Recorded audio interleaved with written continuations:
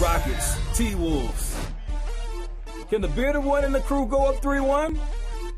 Or is the big cat and crew going to tie the series at 2 2? Houston Rockets 6 and 1 so far against the T Wolves all season, including the playoffs, and early on trouble for the young Wolves as Karl-Anthony Towns is called for a second foul. He would have to sit three minutes in the game. So about these Rockets. Playing good, but uh, this is more bad news for the Timberwolves.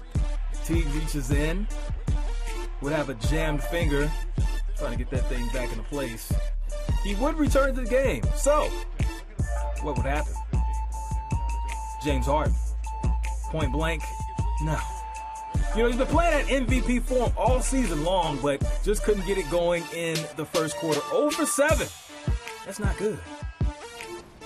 Moving on to the second quarter, Karl-Anthony Towns back in the game and feeling right. Running two-man game. Teague to Towns. Nice. Mouse in the house. Gordon, you too small. Get big. Towns and one. Oh yeah, he's feeling good. Minnesota up. But then the bearded one starts cooking.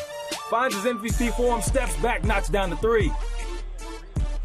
We're gonna whip it in the kitchen like it's stir fry. Pose on. Houston up. And then Harden again can't make everything. Like I said, he's been playing at MVP form. Here's a former MVP, Derrick Rose, to the rack. Gets that one, ties a score at 46 apiece. Houston up by one at halftime.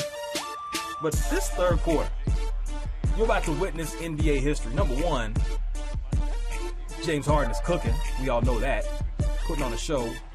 But the Houston Rockets, the second highest scoring quarter in NBA playoff history with 50 points, and Harden doing it all. 22 points in the quarter. Feeling good. Woo! Oh, yeah, I like that. What about the teammates? CP3 wears three, knocks down the three.